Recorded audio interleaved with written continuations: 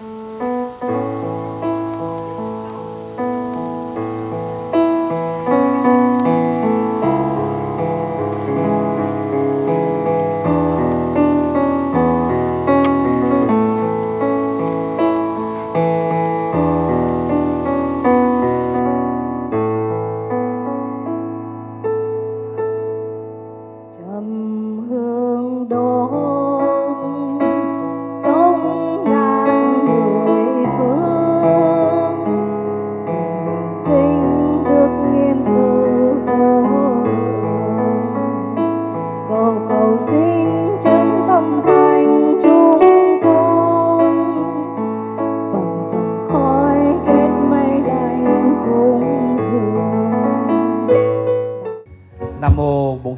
Ca Mâu Ni Phật. Giờ đây, trước đạo tràng trang nghiêm và thanh tịnh, chúng con thanh tâm hợp nhất hướng về trên chư tôn tình đức tăng. Chúng con nhất tâm cung thỉnh thượng tòa thích thông đức à, có đôi lời pháp nhũ đến với đạo tràng Phật tử chúng con trong ngày đại lễ hôm nay. Nam mô Hoan Hỷ Tạng Bồ Tát Ma Ha Tát.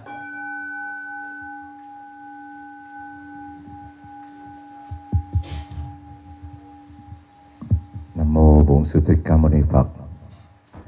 À, kính thưa quý vị, lời đầu tiên tôi xin uh, xin lỗi quý vị, cái đồng hồ tôi nó bị hư, cho nên tôi nhìn đồng hồ thì nó còn sớm, cho nên chính vì tại đó mà nó bị trễ. Rồi đã lái đi gần tới thì xăng nó lại hết, nó dồn dập cho nên tôi tới bị trễ mất nửa tiếng, đúng theo tinh thần là 5 giờ. Thành thật sám hối chư tôn đức tăng ni và quý vị ha. À, kính thưa quý vị, hôm nay mình về đây làm lễ Phật đản tôn kính Đức Phật lần thứ 2643. Phật lịch 2563. Mình sẽ nghe như vậy, đôi lúc mình sẽ bối rối, mình confused mình không biết là Phật lịch là gì mà Phật đản là gì. Có những người học Phật thì hiểu nhưng có những người mặc dù là con Phật nhưng không hiểu tôi cũng xin được phép nhắc nhở một chút. Phật đản lần thứ 2643 có nghĩa là Đức Phật đản sanh đây là lần thứ 2643. Còn mình nghe danh từ Phật lịch 2563. Phật lịch là được quy định của Phật giáo quốc tế Liên Hợp Quốc họp năm 1950 quyết định ngày Phật lịch, gọi là Phật lịch lấy cái trừ đi 80 năm của Đức Phật nhập Niết Bàn. 80 năm của Đức Phật ở trần thế là chọn cái ngày Đức Phật nhập Niết Bàn và tính lại trừ đi 80 năm. Cho nên Phật lịch là 2563 mình nhớ một cái điểm này. Khi nghe nói Phật lịch và Phật đảng đến lúc mình hơi bối rối một chút. Đó là như vậy. Và cái điều kế tiếp tôi muốn chia sẻ với quý vị hôm nay trong cái đạo tràng còn rất là mới rất là xa đúng không? Đến đây chùa chỉ mới hình thành được vài tháng thôi và rất còn rất nhiều cái giai đoạn phật tử chưa có đạo tràng chưa có mà hơi xa thành phố nữa. Cho nên à, uh, sư sẽ gặp rất nhiều khó khăn trong trên bước, bước đường uh, xây dựng ngôi đạo tràng và xây dựng chùa cũng như là ở đây thì mong rằng Phật tử sẽ thương sư, về đây ủng hộ cho sư. Đủ mọi mặt mặt nào cũng nên cầu. Và tôi muốn nói hôm nay một điều. Mình làm lễ Phật đản sanh là cái dịp gì? Là cơ hội cho người con Phật nghe lại, ôn lại cuộc đời của Đức Phật. Để học ra một cái điều gì nơi đó? Tôn giáo nào cũng vậy, thưa quý vị. Thiên chúa giáo, hồi giáo, kitô giáo, vân vân, họ đều có cái ngày đản sanh của đấng giáo chủ của họ. Và ngày này họ được tổ chức một cách long trọng, linh đình, tôn vinh cái bậc giáo chủ của họ đản sanh. Thì phật giáo cũng không ngoại lệ điều này. Tuy nhiên nó khác nhau ở chỗ nào? Khi người ta tổ chức ngày lễ đảng sanh giáng trần Giáng sinh, vân vân. Những danh từ đó đều diễn tả trong một bậc. Giáng trần có nghĩa là từ trên cao, giáng xuống trần gian này để cứu nhân độ thế. Còn đảng sanh là một sự sinh ra đời, hoan hỷ, vui vẻ, đem lại niềm vui an lạc cho mọi người. Như lời thì MC hồi nãy có nói, Đức Phật ra đời vì cái gì? Vì sự an lạc và hạnh phúc cho số đông, cho chư thiên và loài người.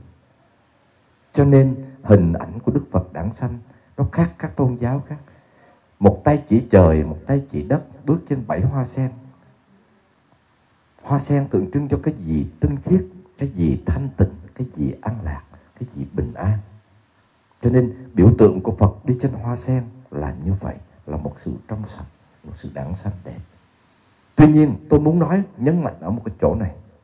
Cũng một con người sinh ra trong cuộc đời, nhưng có con người như Hitler, Stalin là nỗi khổ, nỗi đau trên nhân loại này. Cũng đẳng sinh ra cuộc đời, nhưng mà đem lại đi tới đâu?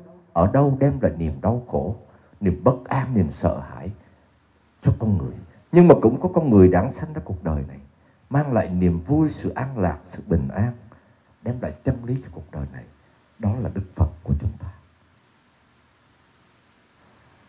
Cho nên, thưa quý vị, ngày nay, một nhà triết gia vĩ đại, ông ta có nói câu như thế này.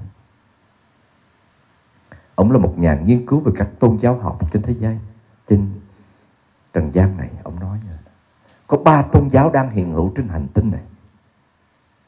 Lớn, to, ảnh hưởng tới quần chúng thứ nhất là gì? Là hồi giáo. Thứ hai là gì? Thiên chúa giáo. Và thứ ba là gì? Phật giáo. Cái gì làm cho hồi giáo tồn tại lớn mạnh là một tôn giáo trên hành tinh này, thưa quý vị? Chưa quan nói tới cái cái vị giáo chủ đó như thế nào, nhưng mà cái gì để tồn tại như vậy? Niềm tin, thưa quý vị. Hồi giáo quý vị thấy hồi giáo họ có niềm tin lớn mạnh không ạ? À? hả? Một ngày họ cầu nguyện sáu thời, từ lớn tới bé, từ nhỏ đến già. Và từ tấm bé, họ đã gì? Họ đã cầu nguyện rồi. Và họ đã thuộc lòng kinh rồi. Và niềm tin của họ lớn mạnh vô cùng. Họ có thể dám cảm tử chết vì đạo của họ. Mình thấy họ cảm tử, họ ôm bom, họ chết. Niềm tin của họ với đấng giáo chủ và vì vậy, vì sao vậy? Vì giáo lý của họ dạy nè, ai mà đưa được một người từ tôn giáo khác về với mình, ai là một người mà giết kẻ đi ngoại đạo, thì kẻ đó được sẽ lên thiên đường. Đó là tâm chỉ và giáo chỉ của họ. Cho nên, lịch sử truyền đạo của họ là gì? Là bạo lực, thanh gươm và cuốn kinh của răng đó là lịch sử, tôi nói lại lịch sử còn người thiên chúa giáo, họ tồn tại tới đây. Quý vị biết rồi, Vatican họ có thể thành lập một đế chế, một xã hội, một quốc gia. Họ đủ đủ nhân sự, đủ con người, đủ tổ chức, đủ quyền lực, đủ tiền để họ thành lập một quốc gia. Họ mạnh lắm. Cái gì tồn tại của họ? Họ là tổ chức. Từ trên xuống dưới, từ trái sang phải, từ ngang sang dọc. Tổ chức của họ chặt chẽ vô cùng lắm quý vị nào là người quen với người thiên chúa giáo hay gia đình mình, có người quý vị biết rồi. Mỗi ngày trước bữa ăn phải cầu nguyện, trước khi đi ngủ phải cầu nguyện, đúng không ạ? Mỗi tuần phải đi nhà thờ, đúng không ạ? Không đi là không được nha. Còn phật giáo có bắt buộc vậy không ạ? Có ai bắt buộc quý vị không? Quý vị một năm đi chùa cũng được. 10 năm nhân danh Phật tử không đi chùa cũng chẳng ai nhắc nhở, ai nói gì. Đúng không ạ? Có ai bắt quý vị phải đi chùa mà không đi chùa có hâm quý vị là không đi chùa là bị đọa địa ngục không? Có ai nói với quý vị điều đó không? Chư tăng cũng không, mà phật tử cũng không à. Vậy họ tồn tại họ mạnh là gì? Cái điểm mạnh mà họ tồn tại là nhờ tổ chức của họ, chặt chẽ vô cùng. Họ quản lý quý vị tới nhà thờ đi. Quý vị hỏi ông cha cha có bao nhiêu giáo dân? Một năm nay. Và năm năm sau quý vị trở lại hỏi ông cha có bao nhiêu giáo dân? Ông cha ông trả lời chính xác cho quý vị có bao nhiêu giáo dân trong nhà thờ? Đúng không ạ? Năm nay, nhà thờ được 3.000 giáo dân. 5 năm sau, quý vị trả lời, ông cha ông sẽ trả lời là 11.200 giáo dân. Chính xác tới từng chính xác. Đó là một tổ chức khá về chặt chẽ về tổ chức. Đúng không? Đương nhiên, niềm tin của họ, nhiều khi có những người còn tin hơn hồi giáo. Nhưng mà mình nói, đang nói đây là cái điểm mạnh. Tôi nói cái điểm mạnh để tồn tại chứ đương nhiên từ người thiên chúa giáo, niềm tin của họ lớn vô cùng lắm. Với với đức chúa của họ. Mình vẫn tôn trọng. Tôi tới nhà thờ tôi vẫn tôn trọng. Tôi gặp hồi giáo tôi vẫn tôn trọng. Nhưng mà mình đang nói cái điểm mạnh và điểm yếu. Vậy cuối cùng phật giáo tồn tại bởi cái gì? Niềm tin có không? Phật tử mình có niềm tin nhiều không? Không có nhiều đâu. Nếu nhiều là phải đi nhà thờ, đi chùa mỗi tuần. Đúng không ạ? À? có không? Rồi phật tử có ai bắt quý vị phải đi nhà thờ đi chùa mỗi tuần không? Có không? Không à một năm cũng được, có quên chùa cũng không sao. Chẳng ai nói cái gì hết. Vậy phật giáo tồn tại bởi cái gì? Niềm tin quý vị mình cũng không bằng họ. Tổ chức thì sao? Có trên, có dưới, có ngang, có dọc không? Cũng không. Vậy phật giáo tồn tại bởi cái gì? Giáo lý của đức phật. Mình nhìn lại dòng lịch sử. Đi qua, tôi chỉ lấy vài điểm thôi nha. 45 năm thuyết pháp của Đức Phật. Một đời sinh ra, lớn lên. Bây giờ mình đi trở lại lịch sử một chút, để mình ôn lại một chút nha. Đảng sanh, dưới vườn lâm tỳ ni. Thành đạo ở đâu? Xuất gia ở đâu? Xuất gia ở trong rừng. Tu tập trong rừng. Thành đạo ở đâu? Dưới gốc cây, bồ đề. Hoàng pháp ở đâu? Ngủ ở đâu? Cũng rừng ở gốc cây không à? Sau này các ông vua mới cúng cho tu viện thành lập, rồi mới thành đạo tràng, mới thành lập, mới có tu viện, có chùa chiền. Rồi cuối cùng nhập niết bàn ở đâu quý vị? Cũng dưới gốc cây. Cuộc đời đức phật đẹp không? Có bậc vĩ nhân nào đẹp như đức phật không? Gắn bó hài hòa với thiên nhiên, sống bình dị giản dân. Khi thành đạo trời người phải xuống cung kính, và ngày đản sanh là tứ thiên vương tới hộ vệ. Khi mang thai tạng trong kinh diễn tả là luôn luôn có tứ thiên vương cõi trời, bảo bọc che chở cho thái tử. Bước xuống là có cõi trời bảo bọc che chở. Cuộc đời của đức phật một bậc vĩ nhân đản sanh ở thế gian này mà. Nếu không phải là một người cha đức độ, một người mẹ đức độ tài trí, thì làm sao mà sinh ra một con người vĩ nhân ở thế gian này? Phải không quý vị? Hoàng hậu ma gia và gì vua tịnh phạn là hai vị viện gì? Tài đức trong thiên hạ. Với, với sản sinh ra một con người vĩ đại ở thế gian này. Và cuộc đời đức phật đó quý vị nhìn đi. Ngài thành phật thành đạo. Lên cung trời thuyết pháp cung trời rải hoa cúng dường được tôn xưng là thầy của trời người. Mà đức phật mình sao? Cuộc đời của ngài sao? Giản dị bình dân hiện thực vô cùng đó là điều đầu tiên mà tôi muốn nhắc lại tới quý vị. Và điều thứ hai, tôi muốn nhắc thêm một điều gì nữa? Không có tôn giáo nào mà có một vị giáo chủ, mà có một lịch sử rõ ràng, minh bạch, có một nguồn giáo lý như đạo phật của mình. Không nói gì quá cao siêu. Quý vị chỉ nhớ vài điểm thôi. Điều thứ nhất, quý vị nhớ giáo lý đạo phật là nền tảng. Giáo lý đạo phật là giáo lý gì? Nhân quả luân hồi nghiệp báo và cái giáo lý mà không có tôn giáo nào bẻ được, đó là giáo lý gì? Thập nhân duyên và giáo lý vô ngã của đạo phật. Hai điều, những những điểm chốt căn bản trên giáo lý của đạo phật. Giáo lý nhân quả luân hồi nghiệp báo trả lời cho tất cả, chúng ta tất cả những gì. Tại sao mình đẹp, mình xấu, mình giàu, mình sang? Tại sao người kia thế này, người nọ thế kia? Đúng không? Và trả lời câu hỏi ngàn đời của triết học ta, từ đâu đến nó sinh về đâu? Thế giới này hữu cùng hay vô cùng, vô tận hay vô tận? Sau khi chết, như thế nào? Thì giáo lý thập nhị nhân duyên sẽ trả lời cho mình tất cả những câu hỏi này. Và nền tảng đạo đức trong cuộc sống xã hội này là giáo lý gì? Giáo lý vô ngã. Không có cái tôn giáo nào mà bẻ được điều này. Quý vị thử đi, nếu như ai chẳng bẻ được, tôi cũng thể theo họ có cái gì trên cuộc đời này quý vị tìm cho tôi một nguyên nhân độc nhất sản sinh ra đó không? Có cái gì không? Cái bông hoa này quý vị nhìn, một cái chiếc bông hoa này quý vị sẽ thấy như thế nào? Hàng ngàn nhân duyên để mà có được bông hoa này. Mặt trời, mặt trăng, dòng sông, con người, đất, nước, gió, lửa với hiện hữu một bông hoa này. Có cái gì tồn tại một mình nó là sản sinh ra đâu?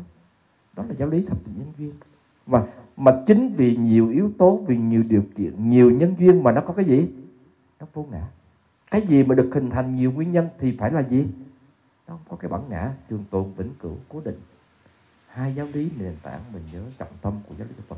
Nhân quả, luân hồi, nghiệp báo, thập nhị nhân duyên và giáo lý vô ngã. Và câu câu nói nền tảng quan trọng như trong kinh bát đại giác, đó là giáo lý vô thường có cái gì tồn tại mãi không quý vị? Và đặc biệt một cái nền tảng sau khi đức phật thành đạo. Nếu mình đọc kỹ, mình nghe kỹ cuộc đời đức phật, mình sẽ thấy thương đức phật vô cùng. Khi mà ngài có đủ tất cả những gì chúng ta đang cầu nhân loại này đang cầu cầu mong, tiền, địa vị, thái tử, con của một ông vua sẽ làm một ông vua trong một tương lai. Cung tần, mỹ nữ, vàng bạc, châu báu, vợ đẹp, con khôn, mỹ nữ của cải thông minh tài ba xuất chúng. Cái gì đức phật cũng hơn hẳn chúng ta. Và có tất cả những gì mà con người trong nhân loại từ ngàn xưa đến ngàn nay mong cầu đó. Đức phật có đủ. Vậy mà đức phật làm gì? Ngài có hạnh phúc không?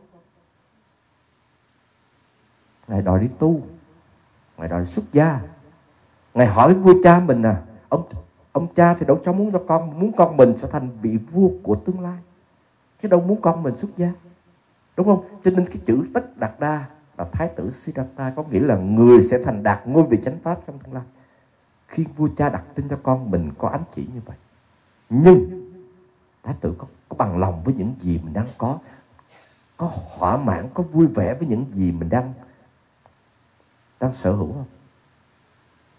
Cho nên ngài với trầm tư sau khi đi bốn cửa thành thấy cảnh sanh già bệnh chết và ngài hỏi người xa nặng ta rồi có già hay không? Ta rồi có bệnh không? Ta rồi có chết hay không? Thì sa nặc lại nói, ngài rồi cũng phải già, cũng phải chết, cũng phải bệnh như những người kia thôi. Và chính đó là động cơ mạnh nhất thúc đẩy đức phật tìm con đường để giải thoát khỏi sanh già bệnh chết này, khổ não này. Và cuối cùng, xin với vua cha, nếu như vua cha trả lời cho con được bốn câu hỏi này, thì con sẽ là gì? Theo ý của vua cha làm một vị vua.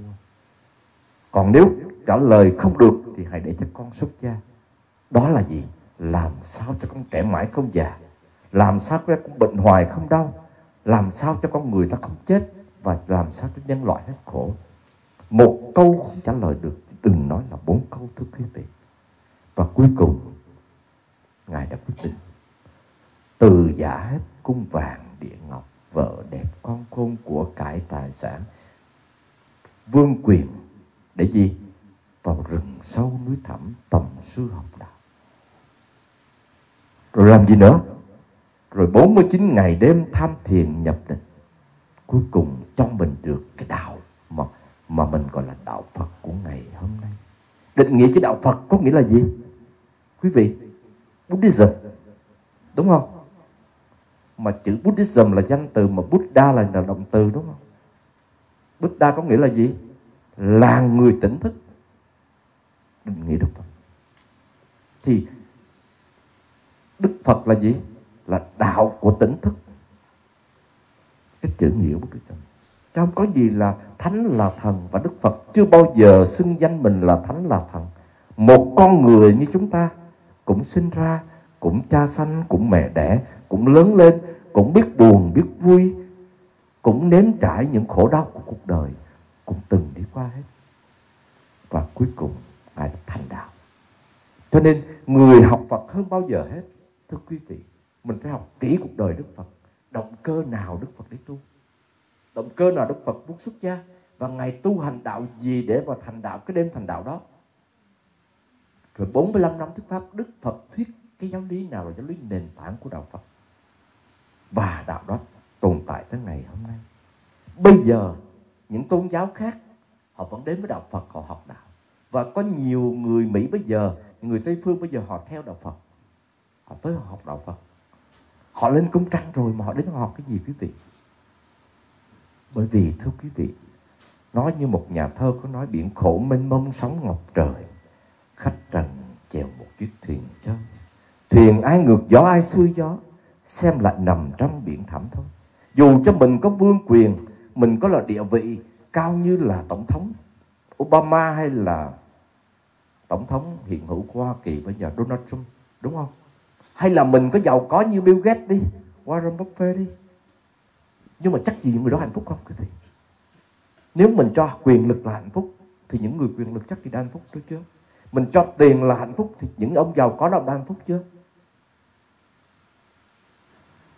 Không hẳn quý vị. Cho nên đức phật cho mình được cái đạo mà bây giờ người ta vẫn còn đau khổ, thì cái đạo đó ngày nay nó đáp ứng được nhu cầu, nó giải quyết được niềm đau nỗi khổ cho nhân loại, cho con người. Mà người tây phương họ đến là gì? Họ thực hành để họ cảm nhận liền chứ không cần chờ kiếp sau. Không có chờ sau khi kiếp này rồi đi về cõi cực lạc rồi vãng sanh, họ tới làm sao họ cảm nhận được họ đang đau khổ họ đang stress, mà họ tới họ thực hành, họ cảm thấy được họ bình an, họ an lạc, họ mạnh khỏe, họ giải quyết được những niềm đau nỗi khổ mà họ có được niềm vui. Thì họ đến với đạo Phật rất là nhiều. Lạ thay ha quý vị? Lạ thay cái điều gì? Tôi muốn nói điều gì? Châu Á của mình thì chạy theo châu Âu, mà người châu Âu thì sao? Người Tây phương thì sao? Chạy ngược về tìm hiểu châu Á của mình. Mình thì bọc cải đạo đi qua các tôn giáo khác và các tôn giáo khác thì sao? Họ quay về với tôn giáo của mình. Đó là hơi nghịch lý đó quý vị. Nhưng mà đó là một sự thật. Mình phải chấp nhận đó là một sự thật. Cho nên tôi đúc kết lại một chút để tôi nói một điều ngắn gọn. Cuộc đời Đức Phật giản dị bình dân. 45 năm thuyết pháp đó lưu lại tam tạng kinh điển đó. 2.568 năm trôi qua. Rồi, phải không? 2563 năm trôi qua. Giáo lý của Đức Phật là lời dạy của Đức Phật. Chưa từng thay đổi một câu một chữ. Chưa từng đó quý vị. Và tam tạng kinh điển vẫn còn đó. Mình nhớ nha. Và trong các lịch sử tôn giáo, không có lịch sử tôn giáo nào mà có một lịch sử rõ ràng, minh bạch như giáo lý của Đức Phật. Nhờ ai? Nhờ công của ông vua Á Dục. Ông vua mà gì? Giết dòng tộc, giết anh em của mình một ông vua tàn ác, chinh phục cả toàn cõi Ấn Độ. Khi mà chiều tà xuống, ông nhìn sát người ngổn ngang, chất núi thành sông, và ông ngộ ra một điều và ông quay về, ông tu theo đạo Phật. Ông buông buông dao bỏ kiếm. Và từ đó có một câu nói nổi tiếng như thế này, ai mà bước vô ngục của ông vua này thì không có ngày trở ra. Và từ đó không còn cái danh từ đó nữa, và cửa ngục đã mở ra, đã nói. Và ông tỉnh thức quay về với đạo Phật và trở thành một vị vua phụng sự cho đạo Pháp. Và nhờ công ông ta ông ta xây lên bốn tứ động tâm. Chỗ này Đức Phật đản sanh, xây một tảng đá khoảng 50 tấn. Khắc tên Đức Phật đản sanh, chỗ kia Đức Phật thành đạo, chỗ kia Đức Phật niết bàn, chỗ kia Đức Phật chuyển pháp luân. Tới thế kỷ 13 người Hồi giáo họ tràn sang, họ tàn phá đạo Phật trên đất đất Ấn. Và người Ấn Độ giáo, họ đã bị chìm nghiệm lâu ngay có cơ hội họ trỗi dậy và họ tàn phá đạo Phật trên đất Ấn. Nguồn gốc nơi Đức Phật đản sanh từ đó không còn lịch sử. Nhưng mà nhờ công đức của ngài Huyền Trang, khi mà qua học đạo, Huyền Trang là nhân vật mà đường Tam Tạng để thỉnh kinh mà quý vị coi phim Tây Du Ký được. Qua bên, từ Trung Quốc, qua Ấn Độ học và dịch lại Tam Tạng kinh điển, đem về đất nước của họ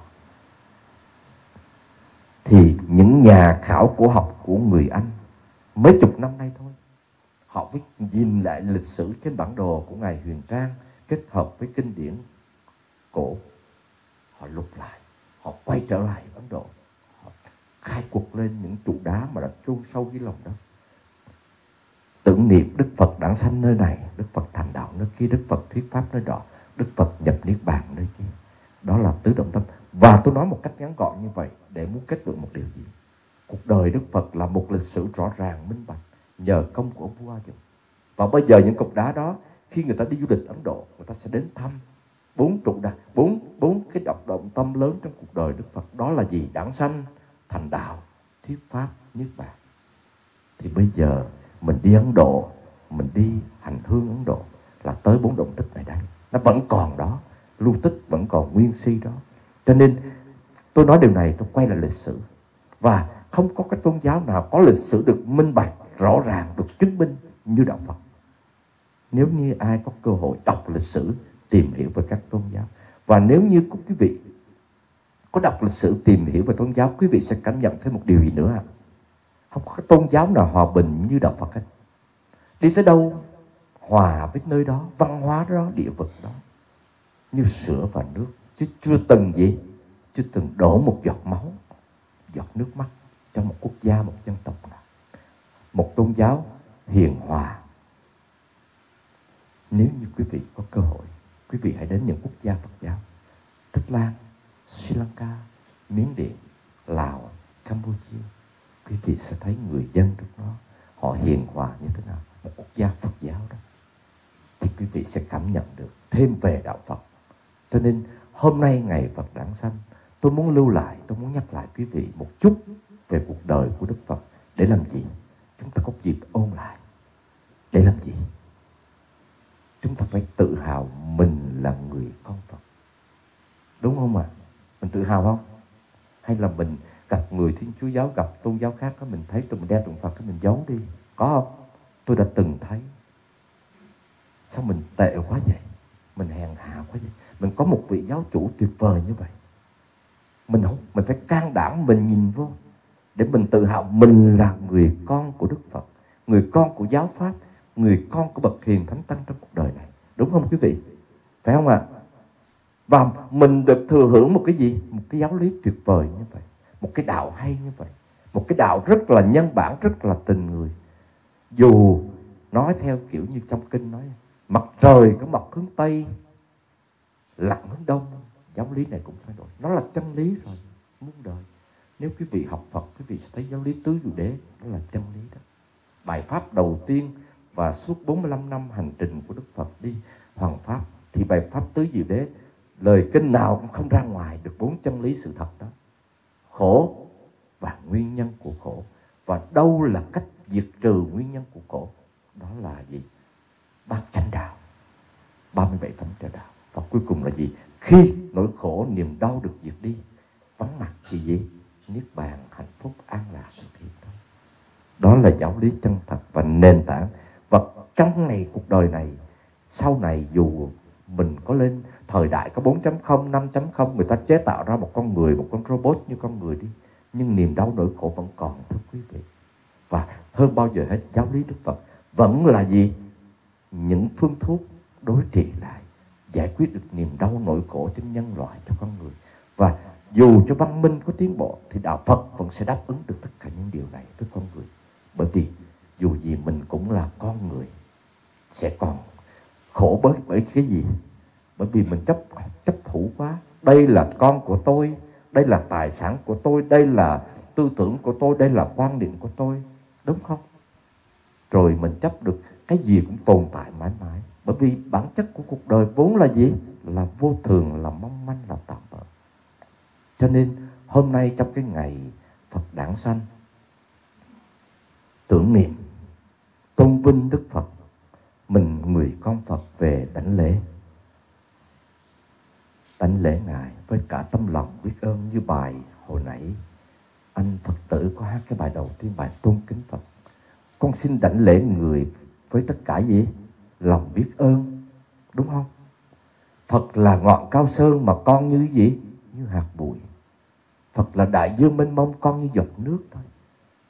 Cho nên trước hình ảnh của một bậc vĩ đại như vậy, mình chỉ biết cúi đầu đảnh lễ và là người con phật, nhân dịp Phật đản mình phải phát một cái nguyện lớn. Con sẽ sống cuộc đời đẹp của người con của Đức Phật đúng với tinh thần như vậy. Thì đó là cách mà mình tổ chức đại lễ Phật đản tưởng niệm tôn vinh tí nữa đây mình làm lễ tắm Phật. Cũng vậy, cuối cùng mình phải học theo được giáo lý của Đức Phật.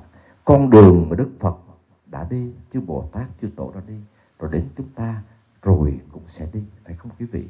Cho nên, tưởng niệm ngày Đức Phật đản sanh, ha, mình ôn lại một chút cuộc đời, nhắc lại một chút, để mình tự hào. Mình là người con của đức phật, người con của giáo pháp, người con của bậc hiền thánh tăng hãy sống như thế nào làm như thế nào để thể hiện cái tinh thần này tốt đẹp hơn. Thì đó là không phụ được công ơn và bản hoài của Đức Phật. Người dám bỏ tất cả để rồi được cái đạo vĩnh cửu cho ngày hôm nay cho chúng ta. Thì kết thúc hôm nay trong cái buổi pháp thoại ngắn gọn như vậy. Thời gian hôm nay chủ nhật, chúng tôi cũng không dám nói gì nhiều. Tôi xin ngắn gọn một chút thôi. Và kết thúc, tôi đọc bài thơ tặng quý vị ha.